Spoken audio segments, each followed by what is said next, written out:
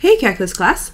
Today we are going to learn topic 33, antiderivatives and indefinite integrals. So antiderivatives. a function f is called an antiderivative of f on the interval i if big F prime is equal to little f for all x in the interval i. In other words, an antiderivative is the original function that has given you the derivative that you have. You are working backwards. Notation for the antiderivative. If the function big F is an antiderivative of the function little f, we can use the following notation. We say the integral of little f of x dx equals big F of x. When there are no limits, then the integral is called an indefinite integral. For example, since big F of x equals x squared, then it has an antiderivative of 2x. So that means we can write the integral of 2x dx as equal to x squared. Indefinite integrals. So we have that the integral of little f of x dx equals big F of x. This means that the derivative of big F is equal to little f. You should distinguish carefully between the definite integral and the indefinite integral. A definite integral is the integral from a to b of f of x dx, which is a number representing area an indefinite integral, so the integral of f of x dx is a function or a family of functions that is the antiderivative of the integrand. The general antiderivative. Theorem. if big F is an antiderivative of little f on the interval i, then the most general antiderivative of little f on i is big F of x plus c, where c is an arbitrary constant. And the reason why we have this plus c or plus constant is because if we were to take the derivative of this, the derivative of big F would be little f, and we know that the derivative of a constant is zero. So, for example, the most general antiderivative of 2x is x squared plus c. That is, the integral of 2x dx is equal to x squared plus c. Because if we were to take the derivative of x squared plus c, we still get 2x. Particular antiderivatives. a particular antiderivative is an antiderivative with a specific number for the constant c in the general antiderivative. For example, each of the following is a particular antiderivative of 2x. x squared, x squared plus 4, x squared minus 98, even x squared plus 1 million. All of those have the same derivative of 2x. Some basic antiderivative formulas. The first one is the addition slash subtraction rule. So we've seen this one before. Basically, if you take the integral of two functions that either are added or subtracted together, then you can split them up and take the integral of the first one plus or minus the integral of the second one. and we would usually call this big f of x plus or minus big g of x. Constant multiple rule.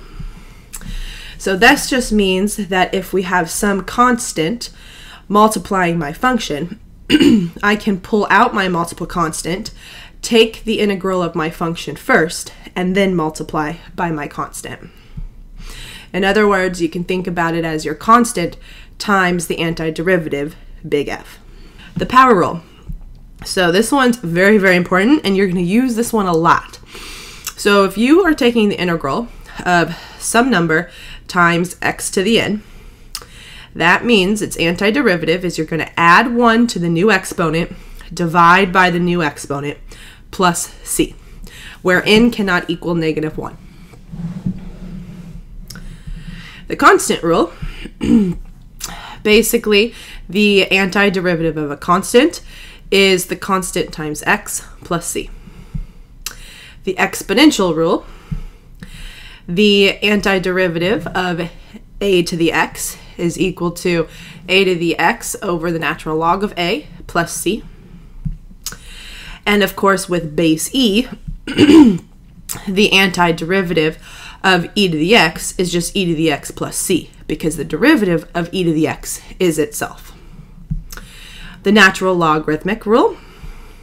So the integral of 1 over x dx is equal to the natural log of the absolute value of x plus c because the derivative of ln x is 1 over x. 7. the zero rule. So the antiderivative of 0 is just a constant because we know the derivative of a constant is 0. Some trig antiderivatives. so the antiderivative of cosine is sine x plus c antiderivative of sine is negative cosine plus c. Antiderivative of secant squared is tangent plus c. Antiderivative of secant times tangent is secant plus c. Antiderivative of cosecant squared is negative cotangent plus c antiderivative of cosecant cotangent is negative cosecant plus c. Antiderivative of 1 over the square root of 1 minus x squared is sine inverse plus c. And the antiderivative of 1 over 1 plus x squared is tangent inverse plus c. And believe me, these you will want to memorize. All right, some examples. we want to find the general antiderivative for each function. So that means I am working backwards. I need to figure out which function gave me the derivative of x cubed plus 2. So I'm going to first do, apply the power rule to x cubed. So I'm going to add 1 to the new x to the exponent, which gives me x to the fourth, and divide by that new exponent. So I'm going to divide by 4. Now, since I have a constant here, the derivative of a constant times x is the constant. So I know the antiderivative of the constant is that constant times x. So my antiderivative is x to the fourth over 4 plus 2x plus c. This is big. Don't forget the plus c. You will lose a full point on the AP test if you forget the plus C. All right, in order to do number two, the first thing you're going to want to do is split it up into two separate fractions. So I have x to the fourth over x cubed, which gives me x, and then 3 over x cubed gives me 3 over x cubed. And then I can even simplify this further by bringing the x cubed up to give me x to the negative 3. Now I'm going to apply the power rule to both terms. So for the first term, I add 1 to the exponent, so I get 2, divide by the new exponent. I add 1 to the exponent, so I get negative 2, divide by the new exponent. And then, of course, plus c. And then, of course, simplify. Since I started with no negative exponents, I have to bring that x squared down to the bottom. All right, for example three, you're going to want to change the roots to exponents. So the fourth root is the same thing as x to the 1 fourth. And since we have a power of 3, that means we actually have x to the 3 fourths. And then, of course, the square root changes to x to the 1 half. And I'm going to do the exact same thing, power rule. Add 1 to the exponent, divide by the new exponent. So when I do that, I'm adding 4 over 4 to 3 fourths, which gives me 7 fourths. And when I divide by 7 fourths, it's the same thing as multiplying by the reciprocal, which is 4 sevenths. Add 2 over 2 to 1 half, gives me 3 over 2. Divide by 3 over 2, same thing as multiplying by the reciprocal. And then, of course, my plus c. All right, number four, sine over cosine squared. So for this one, I would recommend that you split this up so that you have sine over cosine times 1 over cosine.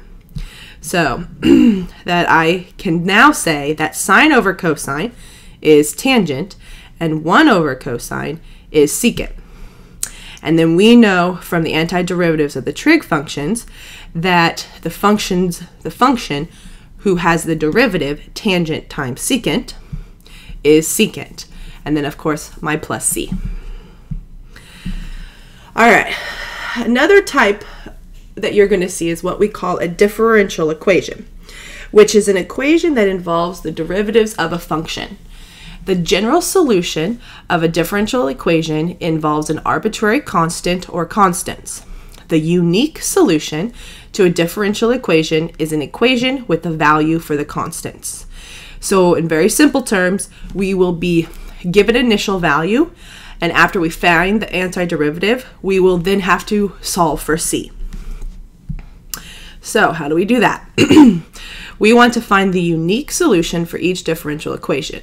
So that means since I have given f prime, I need to find f. So I need to find the antiderivative. So I'm going to do the power rule. So add 1 to 3, which will give me 4. Divide by 4. 8 divided by 4 gives me 2. Add 1 to the exponent, so I get 2. Divide by 2. 12 divided by 2 gives me 6. And the antiderivative of constant is the constant times x plus c. Now I have to solve for c. Well, I'm given that in my original function, x equals 1, y equals 6. So that means I can plug in 1 for x and 6 for y to get the following. And now I'm going to solve for c. And I will get that c equals negative 5. So therefore, my final answer is f of x equals 2x to the fourth plus 6x squared plus 3x minus 5. All right, let's try this one. So in order to do this one, I'm going to split it up to two different fractions. I have 2 thirds times 1 over x. 2 thirds is just a multiple constant, so it's just going to come along for the ride. And whose derivative is 1 over x? Well, that is the natural log of x. And then, of course, my plus c. And I did want to mention quickly about the absolute value of x. The reason why, when you take the antiderivative of 1 over x, you have to put absolute value symbols around the x with the natural log because we know that the argument of the natural log cannot be negative. And since we do not necessarily know um, the full domain of this function, we have to assume um, that x has to be positive, so we have to put the absolute value symbol. Well, on this function, I have f equals negative 1, uh, which equals 7. So I'm going to plug negative 1 in for x, 7 in for y. The natural log of the absolute value of negative 1, that's just the natural log of 1. And so now the natural log of 1 that's just 0, so c equals 7. So now I can say that my final answer is f of x equals 2 thirds times the natural log of the absolute value of x plus 7. Number 3. this time you're given the second derivative and you're given two initial conditions. That's because you're going to have to find the first derivative then you'll have to find the original function. So you're going to have two different c's. So I'm first going to find f prime. So I'm just going to keep working backwards. Add 1 to the exponent, divide by that exponent. so I add 1 to 3, I get 4. 20 divided by 4 gives me 5.